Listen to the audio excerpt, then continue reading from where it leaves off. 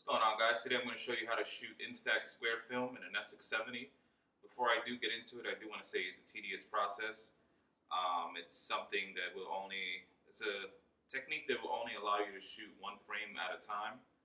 Uh, and then you have to sort of keep reloading. So it's similar to shooting, let's say like an 8x10 or um, 4x5 sheet film.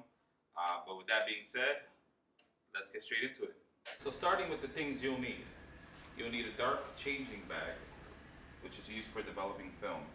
If you do not have a dark changing bag, you can um, either use a dark room, uh, like a dark bathroom, dark closet, um, something like that. But dark changing bags are relatively cheap. You can probably get them online for like 20 bucks. I got mine for around 25 bucks. The second thing you'll need is an empty cartridge of uh, Polaroid, either 600 film or SX70 film. The third thing you'll need is an Instax square camera. Uh, I have an Instax SQ6, uh, which I think works best. You'll obviously need Instax square film. And then most importantly, you'll need a Polaroid SX70, preferably a working one. Uh, so from here, I'll kind of run you through what you have to do to uh, load some film into this and get it processed. So essentially what you have to do is you have to have a empty cartridge of either 600 or SX70 film.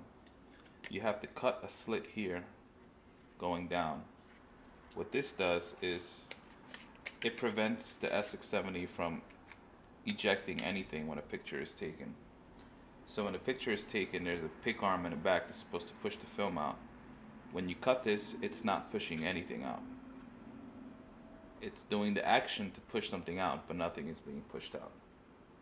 So from here, you take this just the way it is into a changing bag.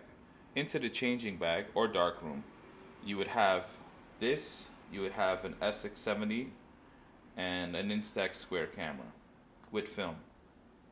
So you take your Instax square film and you have to prop it in here like so and you squeeze gently so it catches on top and then you squeeze gently so it catches on the bottom. And you're doing this completely in the dark so what you have to do is sort of feel and make sure it's right. What I usually like to do is put my fingertips on the sides to make sure there's enough negative space and it's centered correctly. I also like to put my fingers down here and make sure it's not flapping up. So this is basically what you have. From here, you do not open your dark room or dark bag. What you proceed to do is you get your SX70, open your SX70 in the dark bag, load the film in,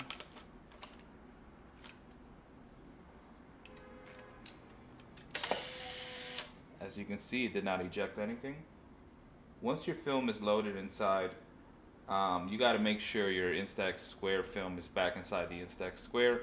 Once nothing is being exposed to light because everything is secured in either inside of a camera or something, you uh, open your your bag, you take out your cameras, and then from here your shot is in here. You have one shot.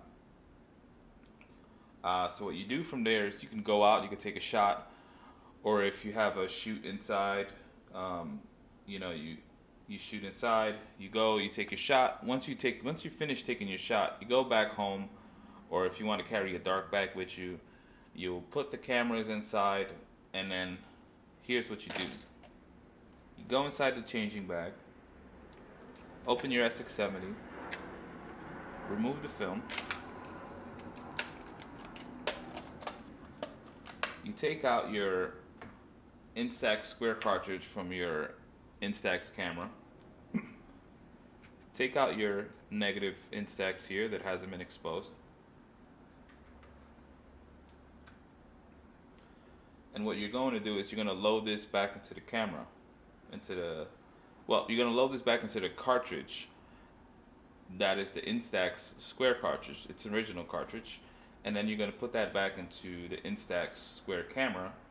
And once it's an Instax square camera, you uh, basically shoot it out and uh, and that's pretty much it that's how you get your picture as I said before, it's a very tedious process, but uh, it's fun to do. Um, it's great to do because um,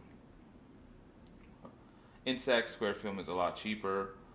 Um, it's also a little bit more reliable than Polaroid Originals film uh, because their chemistry right now is a little bit weird. There seems to be some issues with streaking uh, and other stuff going on with it.